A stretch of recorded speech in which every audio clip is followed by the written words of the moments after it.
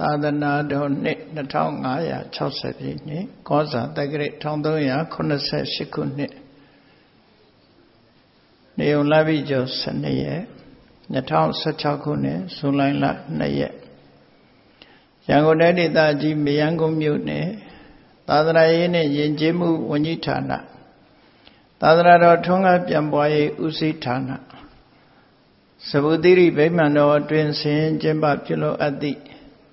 သာသနာပူဇာမြတ်မင်္ဂလာတရားအလှူတော်အထူးဓမ္မသဘင်ခန္ဓာ၌ကျေးဇူးရှိသူများအားကျေးဇူးဆက်သောအဖြစ်ရန်ကုန်မြို့အာငါပါညီမများ၏အမတဒါနဓမ္မဒါနအဖြစ်ဖြင့်ဟောကြားအပ်သောမိလိန်နာမင်းနှင့်ရှင်နာကသေနာတို့၏ဗုဒ္ဓဝါဒရေးရာအခြေတင်ပြောဆိုချက်များအပိုင်း17တရားဒေသနာတော် ဒီကနေ့ညတော်ဝသဘင်ခန္ဓာကိုရှင်ဘုန်းတော်သခင် ရှင်တော်မြတ်ဖျား၏မဟာကရုဏာကုံကိုအာယုံပြုကာတိကျုဖွဲ့ဆိုအပ်သောဝန္ဒနာပနာမအာတိတဂါထာကိုရွတ်ဆိုပူဇော်ခြင်းဖြင့်စတင်ကြရအောင်ယောကပကောတိဟိပိအပမေယံကာလံကရွန်တော်တိဒုက္ကရာနိ ခေရံကတောလောကဟိတယာနာထောနမောမာကာရုဏိကတတတ္တာယောနာထောဝိနိယမြာစွာတတ္တဝါဤချမ်းသာစီပွားလိုလားတောင်းတဂုံပေါင်းခါသဖြင့်နာထမြညာခြင်းရှင်တော်မြတ်ဖရာသည် ကပ္ပကောတိဟိပိဂရေကဘာအရေးအတွက်တင်ချာတို့ဖြင့်တော်လဲအဘယ်မယံရေအတွက်တိုင်းဒါဖော်ပြခြင်းငါမစွမ်းနိုင်ပါသောကာလံလေးအသင်ချေသိမ့်နေကဘာရှိကြသောကာလပတ်လုံးလောကဟိတယတတလောကဤအကျိုးစီးပွားအလုံးငါအတိဒုက္ခရာနိဥ္စာအသက်ချေလဲအင်္ဂါ မေတ္တာကြီးမှသမိတာနှင့်တထာဇနီဆွန်ញင်းကြီးဟုချက်တိထဘွယ်ငါးသွဲအစုအလွန်ခဲရသောမူတို့ကိုကရုဏတော်ဖျားဖြစ်ရန်ရည်တန်ကြိုးကုတ်အထုတ်တော်မူရသည်ဖြစ်၍ခေရန်လက်ချေမျက်လုံးအသက်ဆုံးလည်းရဲ့နှလုံးစိတ်ဝံကိုရောဤပင်မခြင်းတို့ကတောဘဝတဏ္ဏချိန်ဖန်များစွာရောက်တော်မူခဲ့ရရှာလိပြီ မဟာကရုဏီကတတတဝါများရင်ဝဲသားကဲ့သို့တနာချစ်ခင်မှာကရုဏာဆင်းဖြစ်တော်မူသောတသနာထသဝိနည်းများစွာတတ္တဝါဤချမ်းသာစီးပွားလိုလားတောင်းတဂုံပေါင်းခါသဖြင့်နာထမြညာထိုရှင်တော်မြတ်ဖရာအားနမောယုတိပြောင်းပြော့မှန်ကိုလျော်၍ ကရောယုကျိုးရှိခိုးခြင်းသည်အထုဘဝတုစင်စစ်မသွေဖြစ်ပါစေတည်း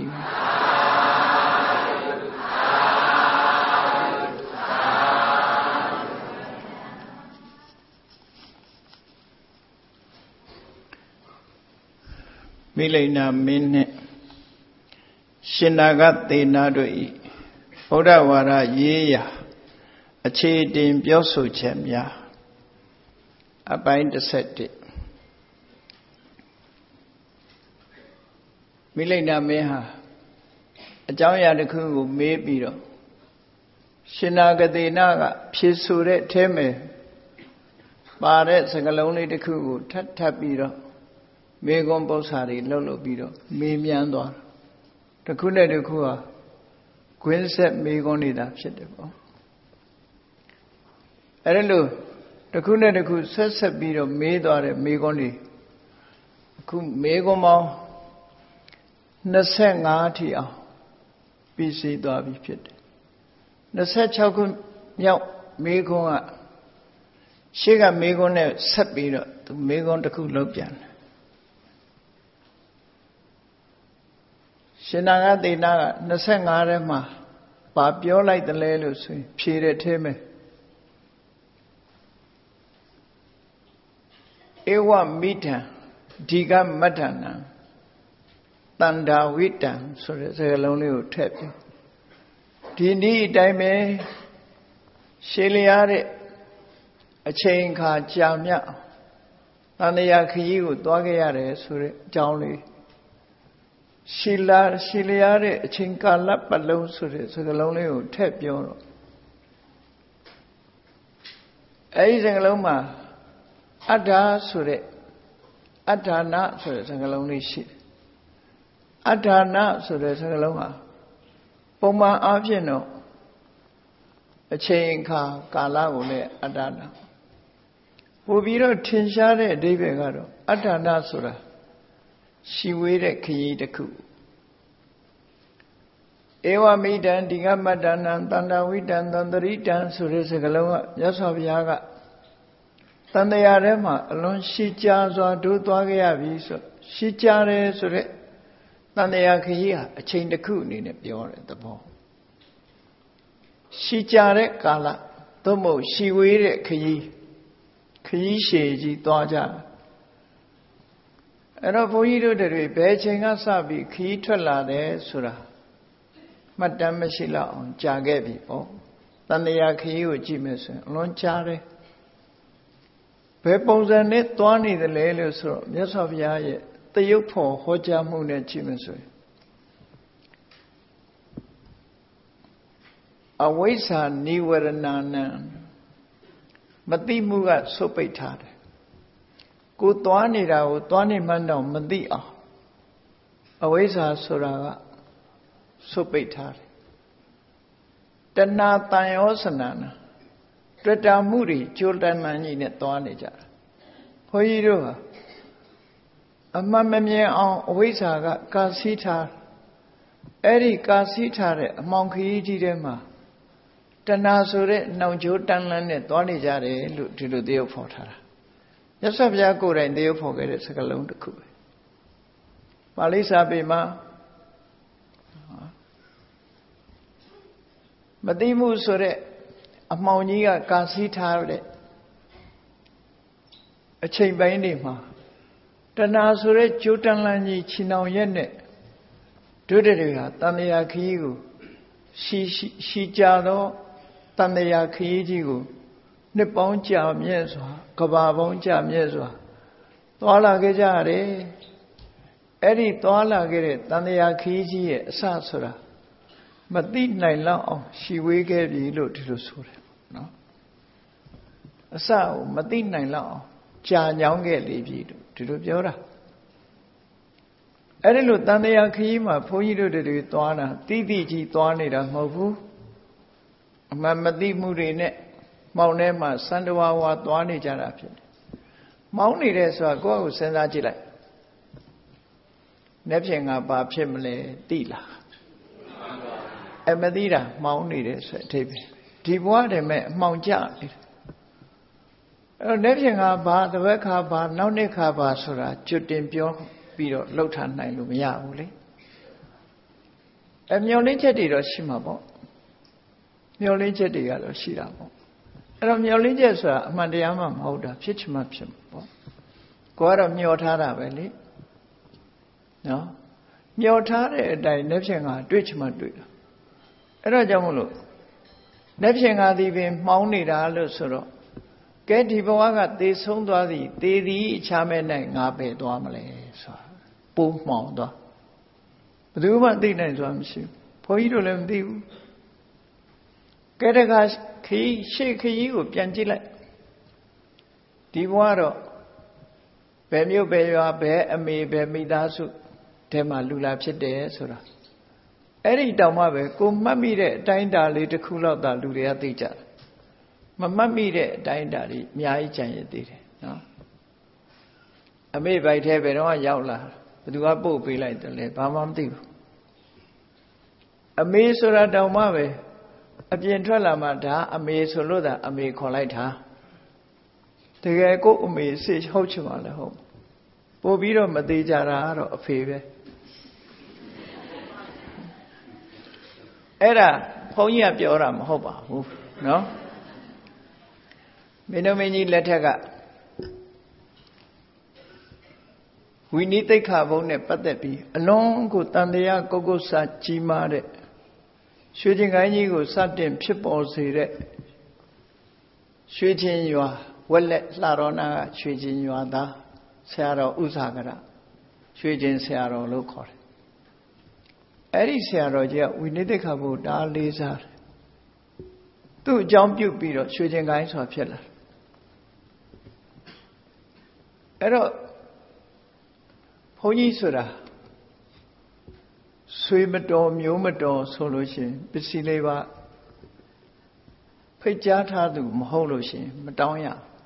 တောင်းခံခွင့်မရှိဘူး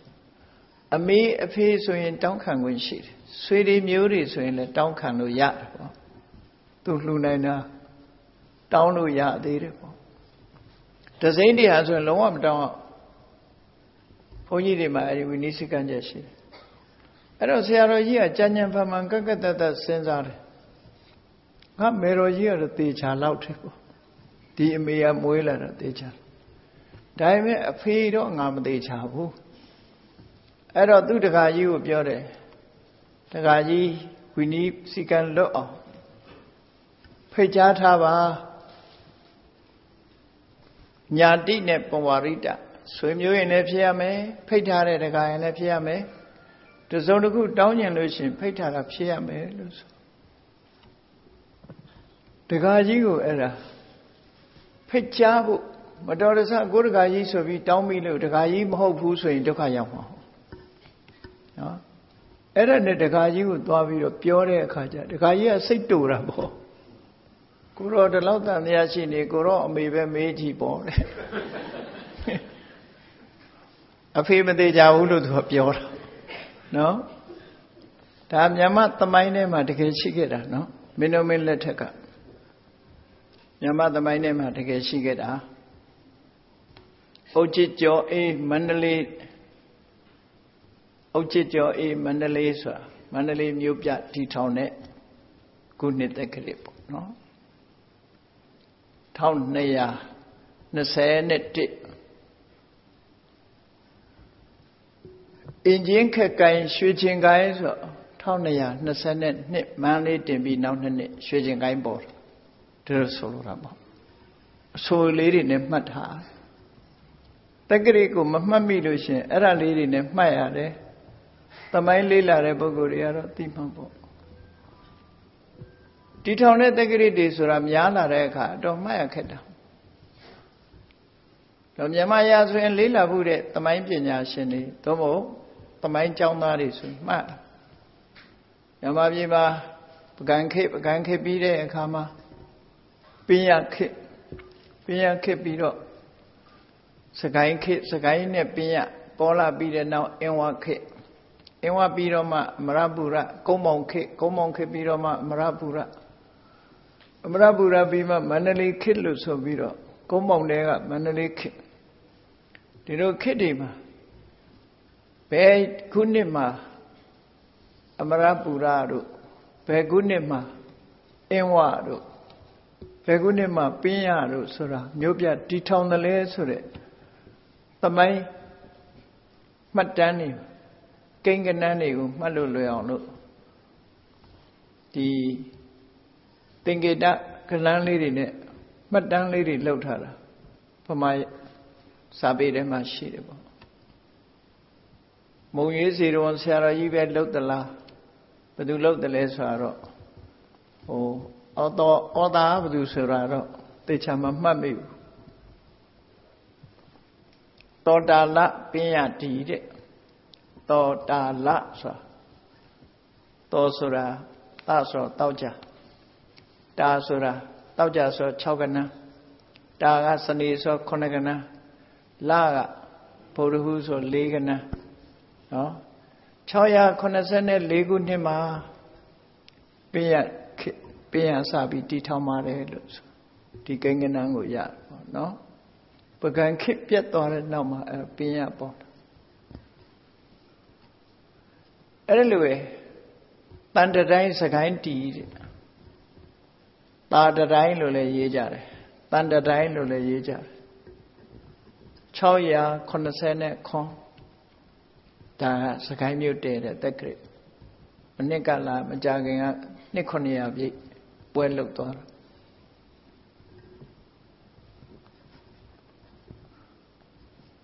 တုတ်ခွင်သွင်းအင်းဝတီဆိုတဲ့စကားလုံးရှိတုတ်ခွန်သွင်းတုတ်ဆိုတာခွန်ကနာ ခွန်ဆိုတာနိကနာသွင်းက6ကနာဟုတ်920နဲ့ခွန်အဲ့ဒါအင်းဝတဲတာလို့အဲ့ဒါလို့ညမတက္ကရိသမိုင်းမှာမတန်းလေးတွေကမှတ်မိစရာလေးတွေပေါ့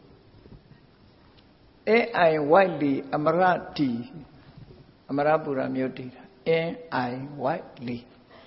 AI တစ်တစ် white ဘုရဟုလေးလီဘုရဟုဟုတ်လား1144အမရပူရမြို့တည်တယ်လို့သူဆိုရဲအဲ့တော့ခစ်တီပါဒီလိုကိန်းကနန်းကနန်းလေးတွေနဲ့မြမတက္ကရိကိုမှတ်တမ်းတင်ကြတာမှတ်လို့လွယ်အောင်လို့မှတ်တမ်းတင်တယ်အဲ့ဒါလိုပဲမြမရာဇဝင်မှာအင်းချင်းခက်ကိုင်းရွှေချင်းကိုင်းလို့ဆိုပြီးပေါ်လာတဲ့ခုနှစ်မှာ ဝိနည်းသိက္ခာဘုံနဲ့ပတ်သက်ပြီးအလွန်လေးစားပြီးတန်တရားပွားတတ်တဲ့ရွှေချင်းဆရာတော်ကြီးကသူ့အဖေကိုစိတ်မချလို့တခါကြီးဘုန်းကြီးဆိုတာဖိတ်ထားမှတောင်းကောင်းတယ်ဖိတ်ပါလို့ဆိုတခါကြီးကလည်းကြားဘူးနာမရှိတော့ဒီကိုတော့ငါမယုံလို့မေးနေတာပဲဆိုဒီလိုရောက်တာကိုတော့မယုံရင်ကိုတော့အမေသာမေးတော့လို့ပြောလိုက်တယ်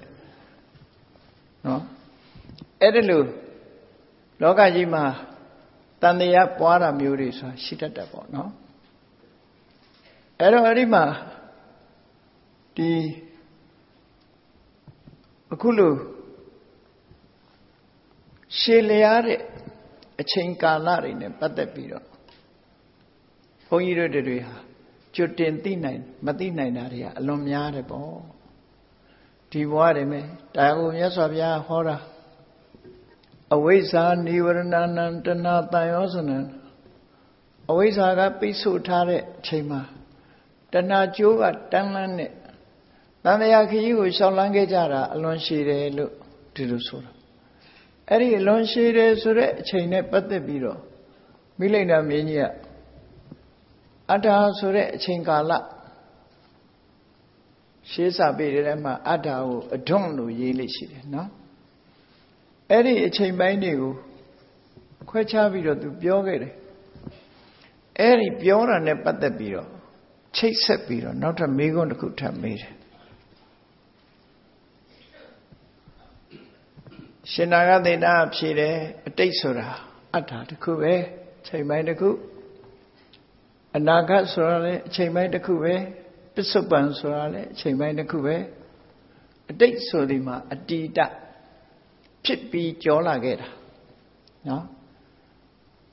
မနေ့ကတရားဝဲတစ်ခုပြီးဆုံးသွားပြီဖြစ်ခဲ့တယ်ဖြစ်ပြီးကြောလာခဲ့ပြီဒါအတိတ်လို့ခေါ်တယ်နော်အတိတ်ဆိုတာဖြစ်ပြီးတဲ့နောက်ကြော်လွန်လာခဲ့တာမဖြစ်ဘဲကြော်လွန်လာလဲအတိတ်တော့တိတ်သို့တော့ဖြစ်မှုနဲ့ပတ်သက်ပြီးတွဲပြီးပြောမယ်ဆိုဖြစ်ပြီးကြော်လွန်လာတယ်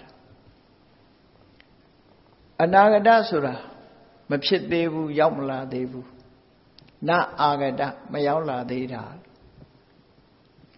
အင်္ဂလိပ်တော့ဘာကြောင့်ဖြူချလို့ပြောတယ်တော့မသိဘူးပါဠိကတော့အမတမအဓိပ္ပာယ်ရှိတယ်အတိတအတိဣတ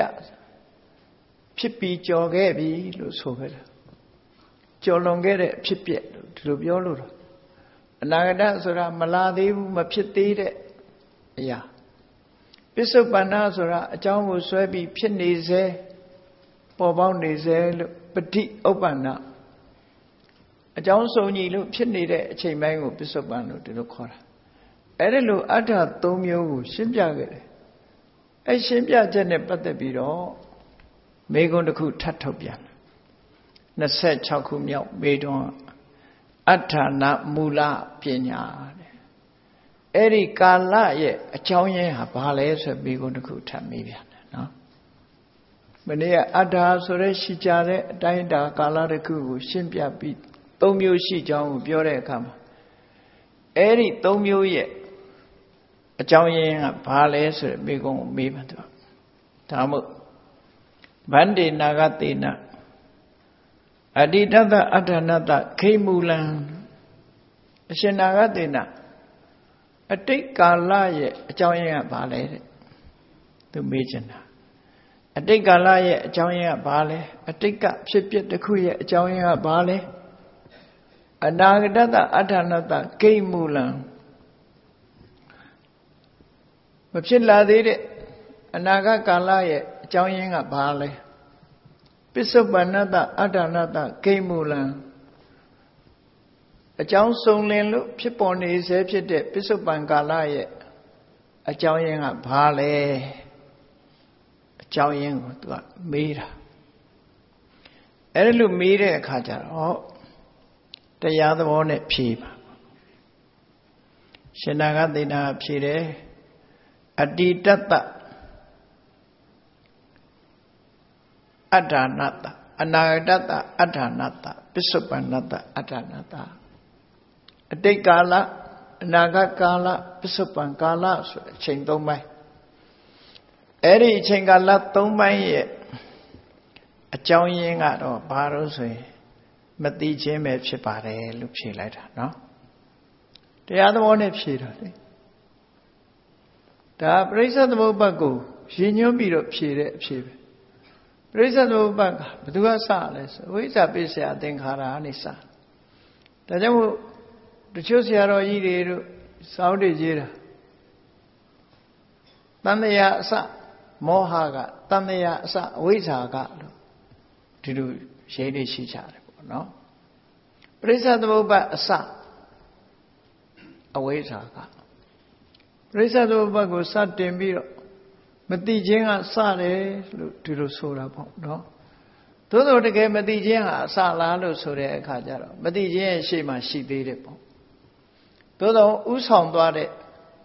ဒီအဖြစ်ပြက်ကြီးတစ်ခု ဥဆောင်သွားတာကတော့အဝိဇ္ဇာဥဆောင်သွားတယ်ဆိုတဲ့အဓိပ္ပာယ်နဲ့ရှင်နာဂတိနာပရိစ္ဆသမုပ္ပါကိုရည်ညွှန်းပြီးတော့ကာလတွေရဲ့အစကာလဆိုဒီမှာအချိန်ဆိုဒီမှာ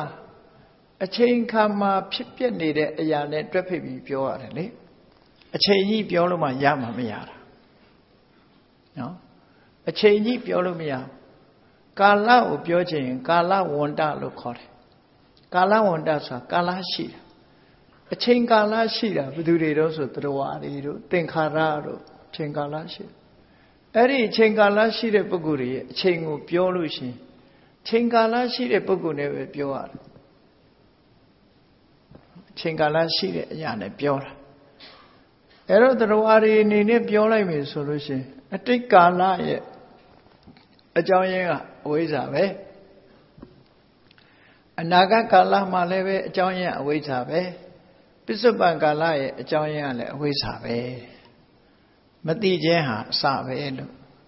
အကြောင်းရင်းကိုအဲ့လိုဖြေပြီးတော့ပရိစ္ဆသမုပ္ပါရှုထောင့်ကနေပြီးတော့ရှင်နာဂသိတာဖြေတာမိလိန်နာမင်းကြီးကလည်းမေးတာပရိစ္ဆသမုပ္ပါကိုမေးတာဖြစ်တော့တယ်သူကလည်းပိဋကတ်သုံးပုံကိုထုံးလို့မှွေရေလို့နှောက်ထားပြီးမေးချင်တာတွေမေးတဲ့ လူခတ်ကြီးကိုနော်ကတိကတမေးတဲ့လူမိလိန်နာဆိုတာအဲ့ဒါလို့မေးတာကိုကြံတဲ့ပုဂ္ဂိုလ်တွေကမဖြေနိုင်လို့သူ့ကိုရှောင်ကြတယ်မိလိန်နာမင်းကြီးကတိကတတွေမေးနုံတို့သူစီဘယ်သူမှမသွားရဲဘူး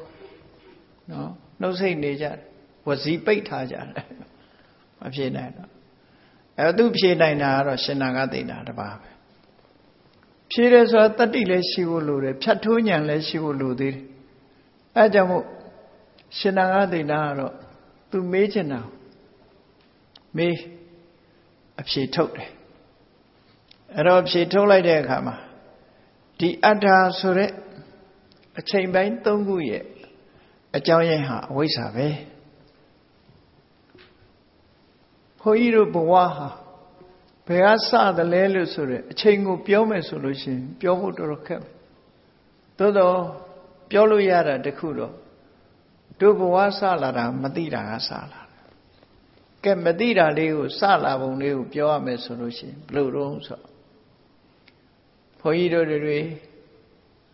လှုပ်တဲ့နာနဲ့မလှုပ်တဲ့နာကိုမသိချဘူးအမှန်တရားကိုမသိချဘူး လုံးတဲ့နာနဲ့မလုံးတဲ့နာမသိတာဒီရင်ရက်သွားတာမဟုတ်ဘူးလုံးတင်တာနဲ့မလုံးတင်တာကိုမသိသည့်အတွက်ကြောင့်မလုံးတင်တာတွေလုံးတင်လုံးမိတယ်လုံးတင်တာတွေလည်းလုံးမိတယ်ဟောမသိဘူးဆိုရင်နှမျိုးလုံးလုံးမိမှာပဲလေမလုံးတင်တာလည်းလုံးမိတာပဲလုံးတင်တာလည်းလုံးမိတာ အဲဒီတော့မြတ်စွာဘုရားကဒါကိုသူစကလုံးနဲ့ပြောတဲ့အခါကျတော့လုံးတင်တာနဲ့မလုံးတင်တာအမှန်တရားကိုမသိတာအဝိဇ္ဇာမသိလို့လုံးမိလို့ရလုံးမိတာသင်္ခါရဟုတ်ပြီဘုန်းကြီးတို့တွေတန်တရားလဲတယ်ဆိုတာမသိမှုကစလိုက်တယ်စလိုက်တော့လုံးမိလို့ရတယ်လုံးလိုက်တယ်လုံးလိုက်တဲ့အခါကျတော့ လှုပ်ခြင်းရဲ့အကျိုးဆက်ဆိုတာပေါ်လာတယ်လေသူကဘယ်တော့မှအကျိုးမထွက်ဖဲတော့မရှိဘူးလှုပ်လှုပ်ရရဲ့အကျိုးဆက်တစ်ခုထွက်လာအဲ့ဒါကြောင့်သင်္ခါရပစ္စယဝိညာဏလို့ဆိုတတိစိတ်လေးကပေါ်လာမသိတဲ့အဝိဇ္ဇာကစပြီးလုံးမိလို့ရလှုပ်တဲ့ကံတရားမသိတဲ့အဝိဇ္ဇာကိလေသာလုံးမိလို့ရလှုပ်တာကံ ကိလေသာနဲ့ကံပေါင်းစပ်လိုက်တဲ့အခါကျတော့ဘာဖြစ်လာတော့ဆိုဝိညာဏဆိုတဲ့ဘဝအပင်လေးတစ်ခုပေါက်လာဝိညာဏပေါ်လာတာနဲ့တပြိုင်နက်ဝိညာဏနဲ့တွဲဖက်လာတဲ့နန္ဒီရုပ်တွေဟာချီထွားလာတယ်အစပြုတ်လိုက်တာနဲ့တပြိုင်နက်သူဇက်တိုက်လာတော့တာမျိုးစိတ်လေးတစ်ခုကိုမြေနဲ့ရေနဲ့ထိတွေ့ပြီးတော့မြေထဲမှာခြားဆိုင်လိုက်တာနဲ့တပြိုင်နက်အမြင့်ကလေးထွက်လာတယ်အညောင်ကလေးတက်လာတယ် အဲ့ဒီအမြင့်ကလေးတွယ်လိုက်ပြီဆိုရင်အဲ့ဒီအမြင့်ကလေးကရေစီရေစီတွေကိုစုပ်ယူလိုက်တဲ့အခါအပေါ်ကအညောင်ကလေးကတဖြည်းဖြည်းအကိုင်းလေးတွေအခက်ကလေးတွေနဲ့ရှင်သန်ထွားကြိုက်ပြီးနောက်ဆုံးမှအပွင့်တွေအသီးတွေပြန်ဖြစ်လာတာဒီလိုဖြစ်တာပဲเนาะအဲ့ဒီရေတောင်းမြစ်မရှိဘဲနဲ့ဒီပင်ဟာစီကားနိုင်တာမှမဟုတ်တာအဲ့ဒီအမြစ်ကအခုလည်းပဲဒီလိုပဲအဝိဇ္ဇာဆိုတဲ့အမြစ်သင်္ခါရဆိုတဲ့အညောက် ထွက်လာတဲ့အခါမှာဘဝဆိုတဲ့အပင်လေးဟာရှင်သန်လာတယ်ရှင်သန်လာပြီးတော့အပွင့်တွေအသီးတွေဝေစားလာသလိုပဲနာယနေရုပ်တွေပေါ်လာတယ်ပေါ်လာတဲ့အခါအဲ့ဒါကိုသင်္ခါရဒီဝိညာဏပစ္စယနာမရူပံနာမရူပပစ္စယတလာယတနာရုပ်တည်နာနေတဲ့မဲ့ဘာတွေပါလာတော့ဆို မျက်စိနာနာလျာကာယမနဆိုတဲ့ organ တွေပါလာ sense organ စက်သွေးကိရိယာတွေပါလာလူရဲ့တဏ္ဍမကိုခေါင်းပိုင်းမှာပဲဆက်သွယ်ရေးတွေဘာတွေပါလာမျက်စိပါတယ်နားပါတယ်နှာခေါင်းပါတယ်လျှာပါတယ်ကွာဆက်သွယ်ရေးတွေအားလုံးဟာခေါင်းပိုင်းမှာရှိလို့အကုန်လုံးဆက်သွယ်ရေးတွေပေါ်လာပါလာသည့်အတွက်ကြောင့်တယ်လီဖုန်းပါလာရင်တယ်လီဖုန်းဆက်ကြမှာပေါ့လေဒါကတော့ မျက်စိပါလာတော့မြင်စရာအာယုန်တွေကိုမြင်ကြကြည့်ကြအတန်တွေကိုနားထောင်နေနားပါနှာခေါင်းပါတော့အနံ့တွေကိုရှူရှိုက်ကြတယ်လျှာပါတော့အရသာတွေမြည်စမ်းကြတယ်ခန္ဓာကိုယ်ပါတော့ထိတွေ့စမ်းသပ်ချကြတယ်မနာပါတော့စိတ်ကူးကြံစီကြတယ်ဆိုတဲ့နာမရူပပစ္စယတလာယတနာဆိုတာပေါ်လာတာလေကိုယ့်ကိုစဉ်းစားကြည့်လူရဲ့ဘဝ ဘာတွေကစပြီးတော့ဘယ်လိုတွေဖြစ်လာသလဲအဲ့ဒီလိုပေါ်လာတဲ့အခါပြမအာယုန်နေနဲ့ဆက်သွဲထိတွေ့လာတာဖတ်တာထိတွေ့မှုကိုအကြောင်းပြုပြီးတော့ကောင်းတဲ့အရာသာဆိုးတဲ့အရာသာဆိုတာနှစ်ခုခံစားလာတာကဝေဒနာအတွေ့အကြုံတွေရလာတယ်စိတ်ထဲမှာအတွေ့အကြုံတွေရလာတယ်ကောင်းတယ်ဆိုတယ်လို့ကိုယ့်ဟာကိုယ်သတ်မှတ်လာတယ် တတ်မှတ်လာတဲ့အခါကောင်းတယ်ဆိုတဲ့အပေါ်မှာဘာဖြစ်လာတော့ဆိုလိုချင်တယ်ဆိုတဲ့တဏှာပေါ်လာဝေဒနာပစ္စယတဏှာလိုချင်တယ်ဆိုတဲ့တဏှာပေါ်လာတဲ့အခါလိုချင်ယုံနေမကဘူးဆွဲဆွဲလန်းလန်းဖြစ်လာတယ်တဏှာပစ္စယဥပါဒဟောပရိစ္ဆသမုပ္ပါဆိုတာရှင်းရှင်းလေးရေကိုယ့်ဘဝကိုပြောပြတယ်ကိုဟာဒီတိုင်းနေတာပဲမဟုတ်လားကိုမသိခင်ကဘာတော့လုံးတင်တာနဲ့မလုံးတင်တာမသိဘူးအဝိဇ္ဇာ မသိလို့ကုသိုလ်လည်းလုပ်တယ်အကုသိုလ်လည်းလုပ်တယ်ဆိုသင်္ခါရအဲ့ဒီလောက်ရအကြောင်းအကျိုးဖြစ်လာတာကဝိညာဉ်အသိစိတ်ပေါ်လာအသိစိတ်ကိုအကြောင်းပြုပြီးနာယုတ်ဒီနာယုတ်ထဲမှာအာယု6ပါးရယူနိုင်တဲ့အင်္ဂါရပ်တွေပေါ်လာအဲ့ဒီ organ တွေနဲ့ဆက်သွယ်တာထိတွေ့လာတာဖတ်တာထိတွေ့မှုကိုအကြောင်းပြုပြီးခံစားမှုတွေပေါ်လာတယ်ခံစားမှုကိုအကြောင်းပြုပြီး လိုချင်မှုတွေတတ်မဲ့မှုတွေတဏှာဆွဲလန်းမှုတွေဥပါဒနာဆိုဟောဒီလိုဖြစ်လာတာဒါဘဝဆိုတာအဲ့ဒါပဲလေကိုယ့်ကိုပြန်စဉ်းစားကြည့်ဒီတိုင်းပဲဒီတိုင်းပဲဖြစ်လာကိုယ့်ဘဝကိုပြန်ကြည့်အဲ့ဒါလို့ဥပါဒံဆိုတာဖြစ်လာတဲ့အခါကျတော့ဥပါဒံကြောင့်ဘာတွေဖြစ်တုံဆိုပရိစ္ဆသမုပ္ပါမှာကျတော့ဥပါဒနာပစ္စယဘဝလို့ဆိုပြီးတော့ပြလိုက်တယ် နော်ဥပါဒနာပစ္စယဘဝလို့ဒီလိုပြသို့တော့ဒီ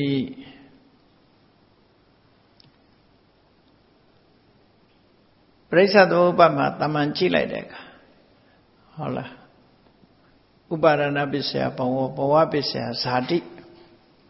ဇာတိပစ္စယစရမရဏံတောကပရိဒီဝဒုက္ခဒေါမနတဥပယတဆို ခွင်းဆက်တွေအကုန်လုံးတစ်ခုဖြစ်လာဖြစ်လာပြီးတော့ဧဝမေတ္တကေဝလတ္တဒုက္ခခန္ဓတအဋ္ဌာနတ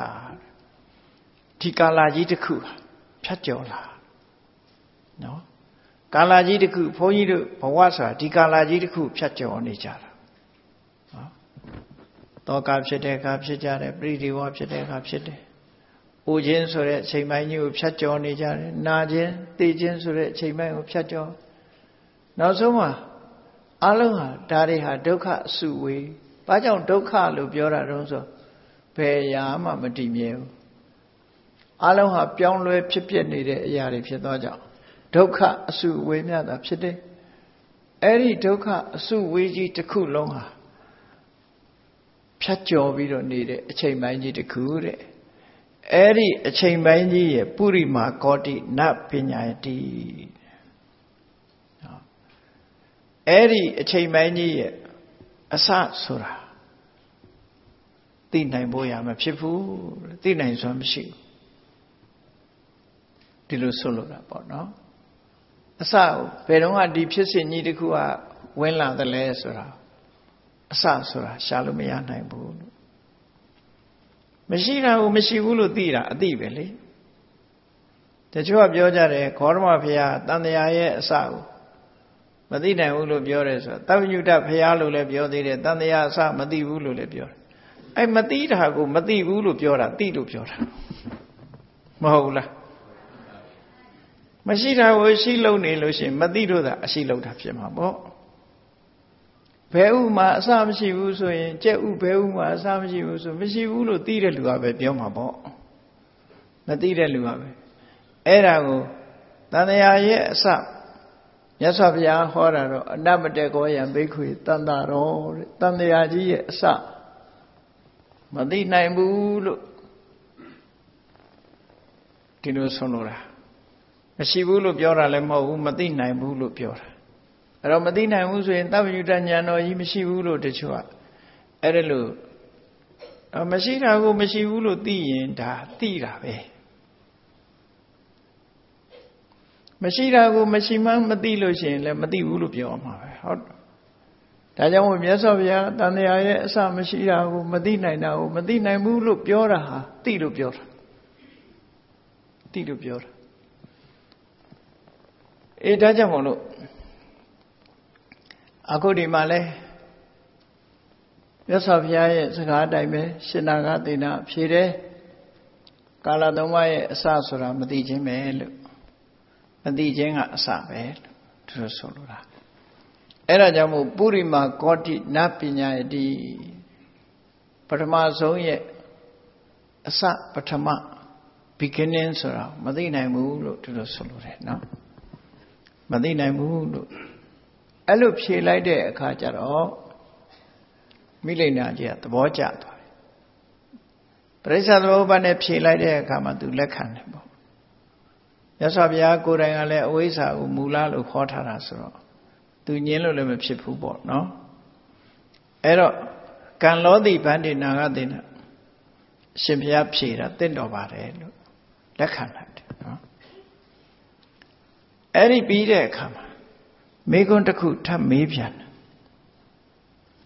ဒီထဲမှာလဲရှေ့မေကွန်းအဖြေထဲမှာပုရိမာဂေါတိနပညာတိ ကာလရဲ့အစမသိနိုင်ဘူးလို့ရှင်နာဂသေနာဖြေလိုက်တဲ့စကားကိုမှတ်ယူပြီးတော့သူကဒုတိယမေကွန်းထပ်မေးတယ်28ခုမြောက်မေကွန်းဆက်ပြီးတော့မေးပြန်တယ်ဗန္ဒီနာဂသေနာယံပဏိတံဖြူတိပုရိမာကောတိနပညာတိအရှင်ဘုရားပြောတယ်တဲ့ရှေ့ပိုင်းအစကိုမသိနိုင်ဘူးလို့အရှင်ဘုရားဒီစကားပြောတယ်တဲ့ အဲ့ဒါနဲ့ပတ်သက်ပြီးဥပမာတစ်ခုပြောပြပါတဲ့နော်ရှေ့ပိုင်းကိုမသိနိုင်ဘူးဆိုတာဥပမာတစ်ခုနဲ့ရှင်းပြပါအောင်လို့ဒီဥပမာကိုတောင်းဆိုတယ်အဲ့လိုတောင်းဆိုတဲ့အခါကျတော့ရှင်နာဂသေနာပြောတယ်ဥပမာတစ်ခုပေးတယ်အေးလူတယောက်ဟာတဲ့မျိုးစေ့လေးတစ်ခုမှာမတရားစီပဲဖြစ်ဖြစ် ပိနေစီပဲဖြစ်ဖြစ်မျိုးစေ့လေးတစ်စိတ်ကိုမြေကြီးပေါ်မှာချဆိုင်လိုက်တယ်တဲ့ဒါအမတန်မှရိုးရှင်းတဲ့ဥပမာကိုပြောတာနော်မျိုးစေ့လေးတစ်ခုမြေကြီးပေါ်မှာချဆိုင်လိုက်တယ်အဲချဆိုင်လိုက်တော့ဘာဖြစ်လာတော့ဆိုအဲ့ဒီမျိုးစေ့လေးကအမြင့်ကလေးအောက်ဆင်းပြီးအပေါ်မှာအညွန့်ကလေးတက်လာတယ်ဒါလူတိုင်းမြင်မှုတယ်နော်အဲ့ဒီလိုအညွန့်ကလေးတက်လာပြီးတော့ဘာလုပ်တုံးဆို အဲ့ဒီအညွန့်လေးကနေပြီးတော့ပင်စီတွေနဲ့ကြီးထွားလာပြီးအကိုင်းခက်တွေဖြစ်လာတဲ့အခါမှာနောက်ဆုံးမှာတစ်ပင်ကတဖြည်းဖြည်းကြီးကြီးကြီးကြီးလာပြီးတော့နော်အချိန်ရာသီအားလျော်စွာအသီးသီးတယ်ဘယ်ပြင်မဲ့ဖြစ်ဖြစ်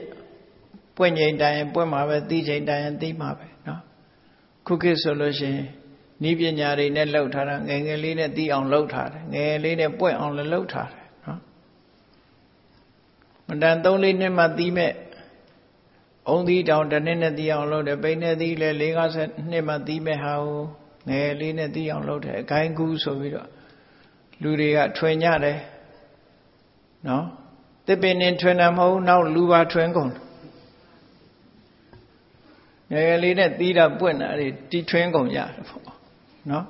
တီထွင်မှုတွေကများလာဆန်းသစ်မှုတွေများလာကြအဲ့ဒါလို့ ရှင်နာဂသိဏမျိုးစိတ်လေးချဆိုင်လိုက်တယ်တဲ့ဆိုင်လိုက်တဲ့အခါအညွန်လေးထွက်လာတယ်အဲ့ဒီကနေပြီးတော့ကြီးထွားလာတဲ့အခါမှာအတိတိမယ်တဲ့တခါအဲ့ဒီအသီးကိုယူပြီးတော့အသီးထဲမှာပါတဲ့မျိုးစိတ်လေးတခုပြန်ဆိုင်လိုက်မယ်နော်ပြန်ဆိုင်လိုက်တဲ့အခါအဲ့ဒီတိုင်းပဲအဲ့ဒီမျိုးစိတ်လေးကလည်းအပင်လေးပေါက်လာတယ် ဒါမျိုးစိတ်သာပြောတာလူတွေလည်းဒီတိုင်းပဲလေအမေနဲ့အဖေကမွေးထားလိုက်တယ်သူဖြစ်လာတယ်အရွယ်ရောက်တော့အိမ်အောင်ပြုတ်ပြန်တဲ့တခါသူဟာတခါအဲ့ဒီသူ့သားသမီးတွေတခါဖြစ်လိုက်ဟောအမေဖြစ်လိုက်သမီးဖြစ်လိုက်သမီးဖြစ်လိုက်အမေဖြစ်လိုက်အဖွားဖြစ်လိုက်ဒီလိုသွားနေတာပဲမဟုတ်လားအဲ့တော့တစ်ပင်ကနေမျိုးစေ့ရမျိုးစေ့ကနေအပင်ရတခါအပင်ကနေပြီးတော့ အသီးရအသီးကနေတခါမျိုးစေ့ရမျိုးစေ့ကနေအပင်ရဒီပုံစံနဲ့သွားနာလေဖြစ်စဉ်ကြီးကအဲ့ဒီမျိုးစေ့လေးကိုပြန်ပြီးတော့ဆိုက်လိုက်တဲ့အခါကျတော့အပင်ကလေးတစ်ခါပေါက်လာပြန်ရောအဲ့ပေါက်လာတဲ့အပင်လေးကလည်းအညွန့်နေတက်ပြီးတော့အရွယ်ရောက်လာတဲ့အခါသူကလည်းအသီးသီးပြန်အဲ့ဒီအသီးသီးအသီးထဲမှာအပင်ပေါက်နိုင်တဲ့မျိုးစေ့လေးတစ်ခါပါလာပြန်ပါလာတော့အဲ့ဒီမျိုးစေ့လေးကိုဆက်လိုက်ပြန်တယ်ဟော အပင်ဖြစ်ပြန်တယ်အပင်ကအသီးသီးပြန်တယ်ဆိုတစ်ပင်တွေကပြတ်သွားတယ်လို့မှရှိမှမရှိတာဒီပုံစံနဲ့ပဲသွားတာပဲလေဒီပုံစံနဲ့ပဲသွားတာကမ္ဘာလောကမှာရှိသမျှတစ်ပင်တွေဒီပုံစံနဲ့ပဲအကြောင်းပြုပြီးတော့သွားဒါကတော့ရိုးရာကိုပြောပြတာခဏခေတ်ကျတော့ခိုင်းကူးတွေဘာတွေလည်းရှိလာတယ်ပေါ့ normal မဟုတ်ဘဲနဲ့ abnormal လောက်လာတာတွေလည်းရှိတယ် ဘယ်နည်းနဲ့ပဲဖြစ်ဖြစ်အပင်ဟောင်းကိုအကြောင်းပြုပြီးအပင်သစ်ဆိုတာဖြစ်ရတယ်ပေါ့အပင်ဟောင်းမပါဘဲနဲ့အပင်သစ်အဲ့ဒါဆိုလို့ရှိရင်မျိုးစိတ်ကိုအခြေမခံမဲနဲ့တစ်ပင်တစ်မျိုးတီထွင်နိုင်ရင်တော့လည်းမဆိုးဘူးလူတွေလည်းတွေးထွင်မယ်ဆိုလှလှလေးတွေတီထွင်ထားရင်ကောင်းတယ်နော်နှာခေါင်းဆောက်ထိုးကြီးနဲ့မထွင်နဲ့နော်အဲ့တော့လှလှပပဒီတဲ့လှတဲ့ဒီဇိုင်းရှိရင်ထုတ်ပေါ့ အဲ့တော့လောကမှာမျိုးစိတ်ကနေပြီးတော့ပုံစံတူလေးတွေထုတ်ထုတ်ပေးတယ်အခုကမှလောက်လာတယ်လေကလုံးဆိုပြီးတော့လှုပ်တာရှိသေးတယ်ဘုန်းကြီးတို့ဂျာမနီသွားတော့ကပြီးတော့မှသင်တန်းသွားပို့ချ2004 2005လောက်ကဘာလင်မြို့မှာ pronoun ဆိုမျိုးရှိဘာလင်ထဲမှာ pronoun ဆိုအဲ pronoun မြို့ မှာ Buddhist house ဆိုတာရှိတယ်ဘုရားဘာသာကျောင်းပေါ့သူတို့ကတော့ house လို့ပဲခေါ်တယ်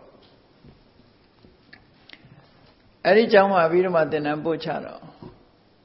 အဲ့ဒီအတော်တွင်းမှာသင်္นานတက်တဲ့ဂျာမန်ကြီးတယောက်ကမေကွန်မေးကြလို့တဲ့ခွင့်တောင်းတယ်သင်္นานပြီးတဲ့အချိန်မှာသူလာပြီးတော့နှစ်ယောက်တည်းတွေ့ပြီးမေကွန်မေးဘာမေးတော့ဆိုတော့ ဘုရားဘာသာယူဆရကလုံးကိုဘယ်လိုသဘောရတယ်လဲတဲ့အခုခေတ်ကလုံးဆိုတာဒီပုံတူတွေလုံနေကြတယ်လေဆဲလေးတွေကိုယူပြီးတော့ပုံတူလုပ်တာခွေးဆိုလဲခွေးကြားလေးပေါ့တူအောင်လုပ်တာလူဆိုလဲလူပုံပုံစံတူသူဆရာဆဲဟိုဟာဆဲယူပြီးတော့ပုံစံတူတွေလုပ်တာအဲ့ဒီကလုံးဆိုတာဖြစ်နိုင်လားတဲ့ ဘုရားဘာသာရဆိုတာဟောဖြစ်နိုင်ပါတယ်လို့ဘာဖြစ်လို့လို့ဆိုရင်မွေးဖွားခြင်း၄မျိုးရှိတယ်တဲ့ဘုရားဘာသာဘုရားဟောထားတော့မွေးဖွားတဲ့ဤ၄မျိုးရှိတယ် way of birth လူသားတွေသတ္တဝါတွေမွေးဖွားလာတဲ့နီလန်၄သွယ်ရှိတယ်တခုကဘာတော့ဆိုရင်မိခင်ရဲ့ဝမ်းသားအိမ်ထဲမှာတရေတီးပြီးတော့ဖြစ်တဲ့မွေးဖွားနည်းကတခု အဲ့ဒါကိုဇလာဘူးစာလို့ခေါ်တယ်ဆိုတော့နွားတွေတို့ခွေးတွေတို့လူတွေတို့စာတအိမ်ထဲမှာတရေတီးပြီးတော့မွေးဖွားကြတာတွေဒူးဒူးပဲလေအဲ့ဒါကိုဇလာဘူးစာလို့ခေါ်တယ်အေးကြက်တွေငှက်တွေကြတော့အဲ့လိုမဟုတ်ဘူးပြင်မဲ့ကိုဥကလေးချပြီးတော့အဲ့ဒီဥကမှမွေးဖွားလာတာကြတော့အန္တဇလို့ခေါ်တယ် ဒါဥကနေပေါက်ဖွားလာအဲ့ဒါကြတော့အန္တဇနောက်တစ်ခါအညိကိုဆွဲပြီးတော့ဖြစ်တာကြတော့အစိုးဓာတ်နော်အစိုးဓာတ်တွေအညိတွေကိုဆွဲပြီးတော့ဖြစ်တာကြတော့တန်သေးတဆတန်သေးဓာဆိုတာအစိုးဓာတ်အညိအဲ့ဒါကိုဆိုလို့တယ်ပေါ့နောက်တစ်ခုကတော့ဩပပါတိကာတဲ့ဘွားကနေဖြစ်လာတာ မိုးချရွှေကိုပေါ့ရုတ်တရက်ပေါ်လာပြီးတော့မွေးတဲ့နီးနတ်တွေပါတွေအဲ့လိုမွေးတာကဘာဥကလူသားတွေလည်းအဲ့လိုပဲဘွားကနေပေါ်လာပြီးတော့မွေးတာမွေးဖို့မွေးနီး၄မျိုးရှိတယ်လို့အဲ့ကလုံးဆိုတာတန်သေးတစပဲနော်တန်သေးတစတန်သေးတစကိုဖန်တီးပေးသည့်အတွက်ကြောင့် လောကကြီးကိုစွန့်ခွာပြီးတော့သေဆုံးနေတဲ့တ attva တွေမြောက်များစွာကံအားလျော်စွာအဲ့ဒီဒီလိုအညှိကလေးတွေဖန်တီးထားတဲ့အပေါ်မှာမျိုးစိတ်ဆိုတာကြာလာတယ်ကြာလာပြီးတော့အဲ့ဒီမျိုးစိတ်နဲ့တူတဲ့တရားကိုတော့သူတို့ဖန်ဆင်းလို့မရဘူးတရားကိုတော့ဖန်ဆင်းလို့မရဘူးဆိုင်းကိုပဲဖန်ဆင်းတယ်လို့သူတို့ပြောဆိုင်းကိုတော့လှုပ်လို့ရ ဖွတ်တွေတောင်မှပဲမြေနဲ့ထဲမှာမွေးတဲ့ဖွတ်ကအသားနဲ့တယ်မြေနီထဲမှာမွေးတဲ့ဖွတ်ကအနီရောင်ဖြစ်တယ်ပတ်ဝန်းကျင်ပေါ်မှာကြည့်ပြီးတော့အယောင်တွေကကွဲပြားခြားနာမှုတွေရှိတယ်အဲ့ဒါလိုပဲတန်တေတစဆိုတာအညှိပေါ်ဆွဲပြီးတော့ဖြစ်တာအဲ့တော့ကလုံးဆိုတာတန်တေတစမျိုးပဲလို့950ဇတ်တော်မှာကြားဘူးကြပါလိမ့်မယ် ဘဒုမဒေဝီကတန်း900ဖွာတယ်ဆိုကြားဘူးကြတယ်နော်လူကနေ900ကြီးမွေးဖို့ဆိုတာခက်တာပေါ့လူက9မှမဟုတ်တာ9ကြတော့9ဥတွေတန်းချီရှိတယ်9တကောင်မှာဥလေးတွေတန်းချီရှိတယ်မဟုတ်လားငပုံနာဘယ်တော့စာစာဥလေးနဲ့ပဲအဲ့ဒီမှာတန်းချီရှိတာလူကြတော့အဲ့လိုမွေးဖွားဖို့မရဘူး အခုခေတ်မှာကြည့်များလာရင်လေးမွားဘူးတို့ငါးမွားဘူးတို့ဒီလိုတွေ၆မွားဘူးတို့ရှိကောင်းရှိမယ်ပေါ့နော်ဒီတဲ့တော့တရားမွားဘူးတို့တော့မရှိတော့ဘူးထင်တယ်အဲ့ဒါမွေးဖို့ရမလွယ်ဘူးလေအဲ့ဒါလို့ဘုရားဒေဝီမိဖုရားကသား900ဆိုတာဟာ ရိုးရိုးမွေးဖွားတာကမဟာပထုမမင်းသားဆိုတဲ့အကြီးဆုံးကိုရိုးရိုးမွေးဖွားတာကျန်တာ499ယောက်ကသူ့ရဲ့သွေးအညှိကိုဆွဲပြုတ်ပြီးတော့တန်တေတစားအနေနဲ့ဖြစ်တာဒီလိုဆိုတော့ပေါ့အဲ့ဒါကလုံးပဲရုပ်တွေတူကြတယ်အလုံးဘာလို့ဆိုဒီသွေးသားကိုမိပြီးပြီးတော့ဖြစ်တယ်ဒါမို့လောကလူတွေမှာဒီဆွိုင်းဆိုတာ ဘာပြောမလဲလို့ဆိုရင်စပန်နဲ့အိုပန်ဆိုတာမိခင်ရဲ့ဝမ်းထဲမှာစပန်နဲ့အိုပန်ဆိုတာဆွိုင်းဖြစ်သတ်မှတ်ပြီးအဲဆွိုင်းဆိုတဲ့မြေပေါ်မှာဒီပေါက်ဖွားရနေရာပေါ်မှာအတိတ်ဘဝတစ်ခုကနေသိဆုံးလာတဲ့တရဝမျိုးစေ့တစ်ခုဟာဖြစ်လာတယ်လို့ဒီလိုပဲပြောအောင်နော်အဲ့ဒါကိုစာပေထဲမှာ အရာသုံးစကားနဲ့ပြောရင်မိခင်ဝမ်းနဲ့ဝင်လာတယ်လို့ပြောတာဝင်နေဆိုတာအကောင်ထည်ကြီးဝင်တာမဟုတ်ဘူးအာယုံအနေနဲ့ရောက်ရှိလာတာအာယုံအစွမ်းကအမတမကြီးမားတယ်နော်အခုအိမ်ပြန်မှလာချက်ချင်းရောက်သွားဒါပေမဲ့အိမ်တော့ရောက်သွားတယ်ဟိုအရင်ကအာယုံအနေနဲ့ရောက်သွားတာလေလူကပါမသွားဘူးဒီမှာပဲရှိရတယ်ပေါ့ စိတ်အာယုံအနေနဲ့ကိုသွားကျင်တဲ့နေရာချက်ချင်းရောက်သွားတာရောက်ဖူးတဲ့နေရာဆိုတေချာပေါက်ရောက်တယ်နော်အဲ့ဒါလိုအာယုံအနေနဲ့မသေးခင်မှာလူတွေကအာယုံအနေနဲ့ရောက်သွားတဲ့ပုံမှာမျိုးစိတ်ကြတာဘဝဆိုတာအဲ့ဒါလိုလာတာနော်အာယုန်အနေနဲ့ရောက်သွားခြင်းဒီပင်လင်သူဟာနောက်ထပ်မွေးဖွားတာအဲ့ဒီနေရာကိုသတ်မှတ်ခြင်းပဲဖြစ်တယ်ပေါ့အဲ့ဒါလို့ ဒီလိုတစ်ပင်တစ်ပင်ဟာမျိုးစေ့လေးချလိုက်ပြီးအဲ့ဒီမျိုးစေ့ကနေပြီးတော့အညွန့်တက်အညွန့်တက်လာတဲ့အခါမှာနောက်အသီးသီးအဲ့ဒီအသီးလေးကိုတစ်ခါပြန်ပြီးတော့အစိတ်အစိတ်လေးကိုစားလိုက်ရင်ဒီအလားတူအပင်ဖြစ်တယ်အဲ့ဒီလိုနီးနဲ့ဘာဖြစ်လဲလို့ဆိုလို့ရှိရင်ဒီနီးနဲ့ဖြစ်စဉ်ကြီးတစ်ခုဟာဖြစ်စဉ်ကြီးတစ်ခုရဲ့အဆုံးဟာမရှိတော့ဘူးတဲ့ မျိုးစေ့ကအပင်ရတယ်အပင်ကမျိုးစေ့ရတယ်မျိုးစေ့ကအပင်ရတယ်အပင်ကမျိုးစေ့ရတယ်ဒီနေ့ကုန်ဆိုကြည့်ပါလားပြီးမလားလို့နော်ကျက်ဥဘယ်ဟာရတယ်လဲကျက်မကရတယ်ကျက်မဘယ်ဟာရလဲကျက်ဥကရတယ်နော်တစ်ပင်ဘယ်ကရလဲသစ္စေကရတယ်သစ္စေဘယ်ကရလဲတစ်ပင်ကရတယ်မဆုံးနိုင်တဲ့ဖြစ်စဉ်ကြီးကိုတန်တတိလို့ခေါ်တယ် process ဒီ process ကြီးတစ်ခုပါ ဒီပုံစံနဲ့ပြတ်ဆဲမသွားဘူးတဲ့လောကမှာဒီဖြစ်စဉ်ကြီးတစ်ခုဟာပြတ်ဆဲမသွားသလိုအဆုံးမရှိသလိုပဲတန်တရားမှာလည်းပဲအဲ့ဒါလို့အဆုံးမရှိဖြစ်တာလို့ဒါဥပမာပေးနော်အဲ့ဒီမှာဒီအထာဏလို့ခေါ်တဲ့အချိန်ပိုင်းတွေဟာလည်းပဲမဆုံးနိုင်တော့ဘူးတဲ့ဧဝမေတ္တဧဝမေဝမဟာရာဇ အထာဏတ္တပိပုရိမကောတိနပညာတိသိရှည်လျားလာတဲ့အခါကျဘယ်ကစတယ်လို့ပြောလို့မရတော့နော်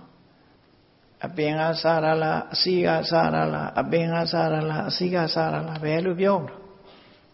နော်မျိုးစေ့ကစရလားအဲမျိုးစေ့ကစတယ်ဆိုလို့ရှိရင်အဲ့ဒီမျိုးစေ့ပဲရအောင်ဆိုအပင်ဖြစ်သွားဗျာဟောဘယ်သူကစတယ်ဆိုတာသိပါမလားသိနေ ကိုကိုလည်းကိုဘဝလည်းကိုပြန်ကြည့်နော်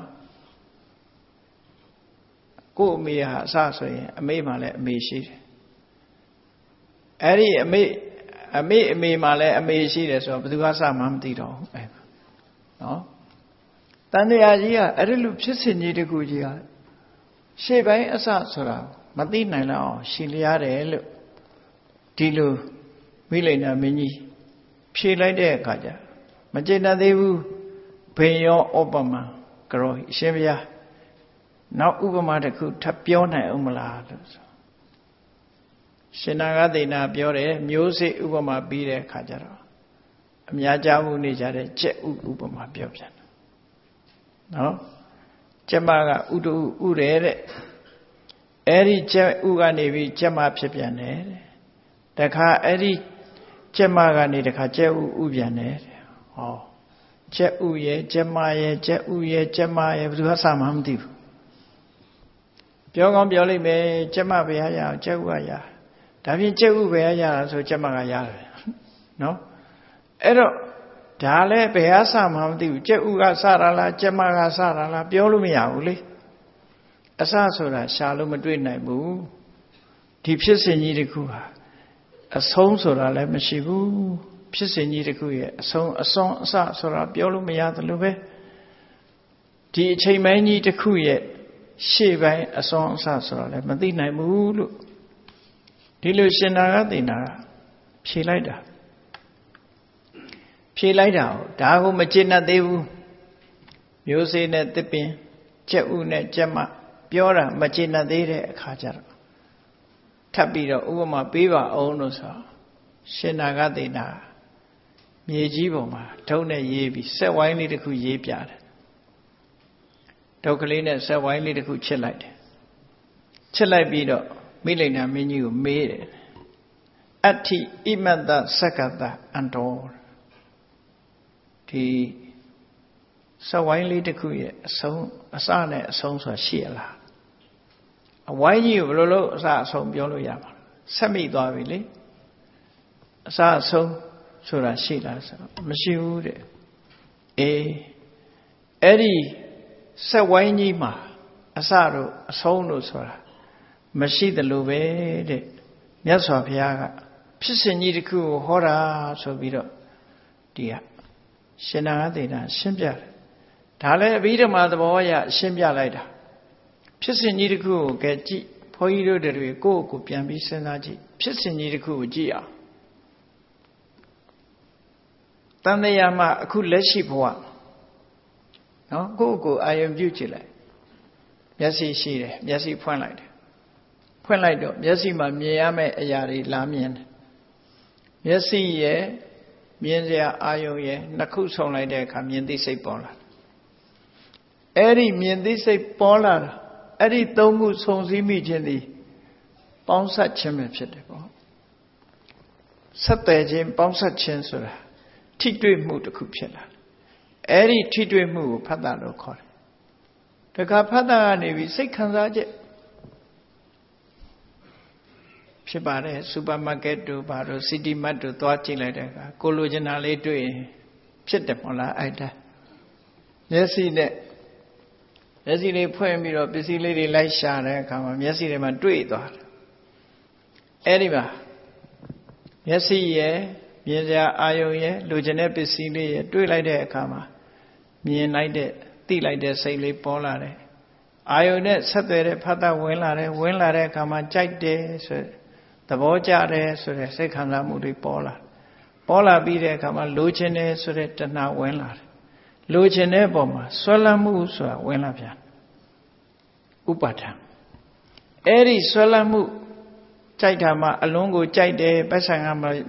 မရှိသေးဘူးသွားချီရအောင်ပဲကြိုက်တာပတ်ဆိုင်ချီဝဲမယ်ဥပါဒနာပစ္စယကမ္မံနဲ့ဟောကြိုက်တော့လှုပ်လာကြိုက်လို့စပြီးတော့လှုပ်လာတာကြည့်ဒါဘလောက်လဲမေးလာ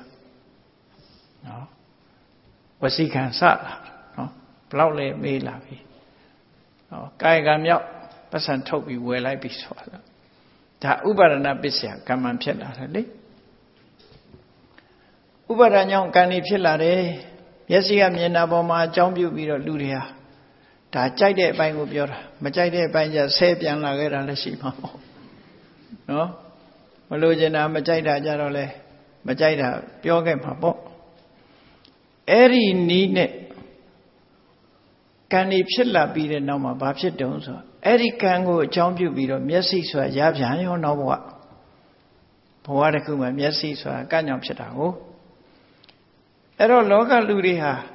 ဥပါဒနာပစ္စယကမ္မံဥပါဒဏ်ကြောင့်ကံဖြစ်တယ်အဲ့ဒီကံကြောင့်မို့လို့ပုဏ္ဏစက္ခုဇာယတိတဲ့နောက်ထပ်မျက်စိတစ်ခုရပြန်တယ်ဘယ်ဘဝရောက်ရောက်မျက်စိတစ်ခုရလာပြန်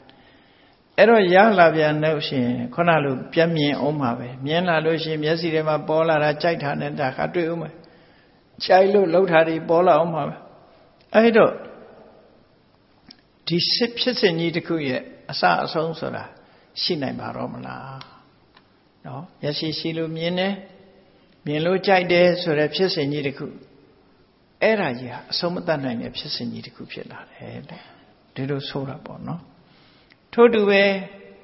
နားကလည်းပဲအယ်ဘမ်လေးသချင်းလေးတစ်ပုဒ်ရထားပြီဆိုရင်ကြိုက်တယ်နှစ်ချက်ကလေးနဲ့တက်ပြီးတော့ခါတလေလမ်းဖြတ်ခူးတာတောင်နှစ်ချက်ကလေးနဲ့သူကကားတိုက်သွားတောင်သိလိုက်မှာမဟုတ်နော်မော်တော်ဆိုင်ကယ်စီးပြီးဟိုနယ်တွေမှာဆိုခဏခဏတွေ့ရမော်တော်ဆိုင်ကယ်မှာနှစ်ချက်တွေပြည့်ထည့်တာနောက်ကကားလာမှလည်းမသိအဲ့ဒါ နားနဲ့လည်းပဲအဲ့လိုစိတ်ခံစားမှုတွေပေါ်လာတယ်နှာခေါင်းနဲ့အနံ့လည်းထို့တူပဲလျှာနဲ့အရသာဆိုတာတော့မပြောနဲ့ထမင်းဆိုင်နေထမင်းဆိုင်နေအရှိုးအရှိုးပေါ်လာတာဝရတယ်လို့မရှိဘူးနော်မြန်မာထမင်းဟင်းအားမရလို့ရှိရင်တခြားထမင်းဟင်းသွားစားမယ် နောက်ထပ်လာဖွင့်ရင်တော့ရှိသမျှအစားအစာကုန်စားမယ်ဥရောပအစားတို့ဘိုးစားတို့ဘာတို့ကုန်စားမှာပေါ့အဲ့ဒါလို့မဆုံးနိုင်တဲ့ဖြစ်စဉ်ကြီးတစ်ခုရှာရှိနေသမျှကာလပတ်တော့ကံနေလို့လို့ရှာရတယ်ရှာရလာလို့ရှင်အရသာခံအောင်မှာပဲအဲ့ဒါလို့ခန္ဓာကိုယ်ကလည်းပဲထို့တူပဲစိတ်ကလည်းထို့တူပဲဒီပရိစ္ဆသမုပ္ပါဒ်ရဲ့ဖြစ်စဉ်တစ်ခုနော် မျက်စိရှိလို့မြင်တယ်မျက်စိနဲ့မြင်တာကိုအကြောင်းပြုပြီးမြင်သိစိတ်ဖြစ်တယ်အဲ့ဒီမျက်စိရဲ့မြင်စရာအာယုံရဲ့မြင်သိစိတ်ရဲ့ပေါင်းလိုက်တဲ့အခါတိဏ္ဍသင်္ကတိဖတ်တော့စုံစည်းမှုဖြစ်လာတယ်ဖတ်တာပစ္စယဝေဒနာစိတ်ခံစားမှုရလာတယ်ဝေဒနာပစ္စယတဏှာလိုချင်မှုတွေဖြစ်လာတယ်တဏှာပစ္စယဥပါဒနာဆွလမ်းမှုတွေဖြစ်လာတယ်ဥပါဒနာပစ္စယကမ္မံ ရှင်နာသိဖြေတာဥပါဒနာပစ္စယဘဝဆိုတာနဲ့အတူတူပဲဥပါဒနာပစ္စယဘဝဆိုတာကာမဘဝကိုပြောတာနော်အဲ့တော့သူကတော့တိုက်ရိုက်ပြောလိုက်တယ်ဥပါဒနာပစ္စယကမ္မံကံတစ်ခုဖြစ်လာတယ်အဲ့ဒီကမ္မပစ္စယဆိုပြီးတော့မျက်စိပြန်ရတယ်နားပြန်ရတယ်နှာခေါင်းပြန်ရတယ်လျှာပြန်ရတယ်အဲ့ဒီအာယုံခံတဲ့အာဟာတွေအလုံးပြန်ရစိတ်ကူးကြံစီတဲ့မနဆိုတာတွေပြန်ရလာတယ် ပြန်ရလာတော့အဲ့ဒီကံကြောင့်ဒါတွေပြန်ဖြစ်လာတယ်ပြန်ဖြစ်လာလို့ပြန်ခံစားတယ်ဆိုတဲ့ဒီဖြစ်စဉ်ကြီးတခုဟာမဆုံးနိုင်တော့ဘူးတဲ့တရားဝါတွေဟာမဆုံးနိုင်တော့ဆုံးနိုင်ပါအောင်မလားဆိုမဆုံးနိုင်တော့အေးအဲ့ဒီတိုင်းပဲတဲ့ဧဝမေဝအဋ္ဌနတပုရိမာကောတိနပညာတိရှေ့ပိုင်းအစဘယ်ဟာစလဲဆိုတာပြောလို့မရဘူးတဲ့ မျက်စိတွေမျက်စိတွေမျက်စိပေါင်းမြောင်များစွာနားဆိုရင်လည်းနားပေါင်းနားပေါင်းမြောင်များစွာနှာခေါင်းဆိုလည်းထို့တူလျှာဆိုလည်းထို့တူစိတ်ခံစားမှုတွေကနေဆွဲပြီးတော့ဒါတွေကပြန်ပြန်ပြီးဖြစ်နေဦးမှာပဲလို့ဆိုလို့နော်လူဖြစ်တော့လူနှာခေါင်းနွားဖြစ်တော့နွားနှာခေါင်းတွေ့ဘူးတယ်မို့လားနွားနှာခေါင်းခွေးဖြစ်တော့ခွေးနှာခေါင်းကြောင်ဖြစ်တော့လဲကြောင်နှာခေါင်းကြောင်နှာခေါင်းသိချာကြည့်ကြည့် ကြောအနှံ့ရလို့ရှင်ရှုကဲရှုကဲလုပ်တယ်လေအဲ့တော့ခံစားမှုတွေကအလုံးပဲဒီတိုင်းပဲသွားတာသူကတဘာဝအဲ့ဒါလို့ဖြစ်လာဒီကံတရားတွေကနေပြန်ပြီးတော့ဒီအင်္ဂါရက်တွေပြန်ပြီးတော့ဖြစ်ပေါ်လာမဆုံးနိုင်တဲ့ဖြစ်စဉ်ကြီးတစ်ခုပဲလို့မျိုးစေ့နဲ့တစ်ပင်ကြက်ဥနဲ့ကြက်မဆိုတာလို့ မဆုံးနိုင်တဲ့ကံတရားနဲ့အကျိုးပုံမှုတွေဟာဒီတိုင်းပဲသွားတယ်တရားဝါတွေကိုအဲ့ဒါလို့ရှင်နာကသိနာကဒီဖြစ်စဉ်ကြီးတစ်ခုရဲ့အစဆိုတာပြောလို့မရတော့ဘူးနော်ကျဲဥနဲ့ကျဲမဘယ်သူကစတယ်ဆိုတာပြောလို့မရတော့ဘူးမျိုးစေ့နဲ့တစ်ပင်ဘယ်သူကစတယ်ဆိုတာပြောလို့မရသလိုအဲ့ဒါလို့ဖြစ်စဉ်တစ်ခုရဲ့အစပြောလို့မရတော့အောင်ဒီမရှိသလိုပဲဆက်ဝိုင်းကြီးတစ်ခုဟာလည်းပဲအစဆုံးစရေးပြီးတော့အဝိုင်းကြီးဖြစ်သွားတဲ့အခါမှာအစရှာလို့တွေ့ဦးမလားတွေ့တော့ဟူဆက်ဝိုင်းကြီးတစ်ခုဟာဘယ်အစလို့ဘယ်မှာဆုံးတယ်လို့ပြောလို့မရဘူးဒါကြောင့်မို့ဒီနော်တန်တရားကိုကရစ်ပေါ်မှာကင်းလျှောက်တယ်ဆိုတဲ့ဥပမာနဲ့ပြောတာနော်ကရရှေးတုန်းကဥပမာတင်စားတာ ကရွတ်ဆိုတာဒီအဝိုင်းကြီးဟိုရေအိုးတွေပါဒီအောက်ကခံတဲ့ခွင်းကြီးပေါ့နော်အဲ့ဒါလည်းဆက်ဝိုင်းကြီးပဲအဲ့ဒီဆက်ဝိုင်းကြီးပေါ်မှာကင်းတဲ့ကောင်ရှောက်သွားမယ်ဆိုရင်သူဟာလမ်းဆုံးတွေးပါမလားတွေ့ဘူးဆုံလေသည့်နွားတဲ့စီကြိတ်တဲ့အခါမှာနွားနဲ့ကြိတ်တာနွားနဲ့ကြိတ်တော့နွားကဒီလိုပဲလှက်ပတ်ပြီးသွားတယ်ဘယ်နေရာမှာလမ်းဆုံးမယ်လို့ဘယ်တော့မှမရှိဘူးသွားနေရမှာ နော်ဆုံလေသည့်နွားရဟချားသို့တဲ့ရဟစီးတာကလေးတွေသွားစိမ့်လိုက်အထက်ရောက်လိုက်အောက်ရောက်လိုက်ဘေးရောက်လိုက်နေရဟကလည်းဘယ်နေရာဆိုတာအစအဆုံးမရှိဘူးလေလောက်ကလေးကဝိုင်းကြီးပဲလေအဲ့ဒါမျိုးလိုပဲတန်တရားကြီးမှလည်းပဲအခုလိုပဲပုရိမာကောတိနပညာတိရှေ့ပိုင်းအစတွေဟာမထင်ရှားဘူးလို့ရှင်နာဂသိဏဖြေလိုက်တဲ့အခါမှာ မိလိန်နာမင်းကြီးဟာ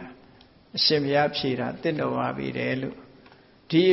အဖြေကိုလည်းပဲသူလက်ခံပြီးတော့ချစ်နှပ်လိုက်တယ်ပေါ့တရားချစ်ခင်သူတော်စင်ပြိဿပေါင်းတို့မိလိန်နာမင်းကြီးဟာရှင်နာဂသိဏဖြေဆိုချက်တဲ့စကားအစလေးတွေကိုကောက်ယူပြီးတဲ့အခါမှာသူသိကျင်တဲ့မေးခွန်းတွေကိုဆင့်ဆင့်ဆင့်ဆင့်ပြီးတော့မေးမြန်းလာခဲ့တာခု26 29ထိအောင် မေခွန်းပု္ပ္ပာတွေကိုရောက်ရှိလာခဲ့ပြီဖြစ်တယ်ပေါ့မေခွန်းနေနောက်ဆက်မေးဦးမှာဒီလူကြီးဘလောက်လေးရှည်နေဦးမယ်ဆိုတော့ပြောနိုင်ဘူးနော်မိလိုက်တာပညာစာအုပ်ကအထူးကြီးအဲ့တော့ဘယ်တော့ပြီးအောင်ဟောရမယ်ဆိုတာမသိဘူးအခုအဲ့ဒါ29ပု္ပ္ပာတော့ပြီးသွားပြီဒါကြောင့်မို့အမေးဖြေဆိုတာညာနာဝဋ္ဌနာအတိညာဏ်တိုးတက်စေနိုင်တယ်ပေါ့မေးတယ်ဖြေတယ်ဆိုတာကိုနားထောင်ရခြင်းအဖြစ် အသိဉာဏ်တွေဟာပူပူပြီးတော့တရားဓမ္မနဲ့ပတ်သက်ပြီးရှင်းလင်းပြတ်သားစွာသိနိုင်တာဖြစ်သောကြောင့်မိရိနာမင်းကြီးရဲ့အမေးကိုရှင်နာဂတိနာဖြေတာတွေကိုကြည်အားဖြင့်ဘုန်းကြီးတို့တွေအသိဉာဏ်တိုးပွားကြမှာအသိဉာဏ်ရမှသာလေအမှန်တရားကိုသိနိုင်မှာဖြစ်သောကြောင့်အသိဉာဏ်ရအောင်အလေးထားပြီးတော့ကြိုးစားအထောက်နိုင်ကြပါစေကုန်သတည်း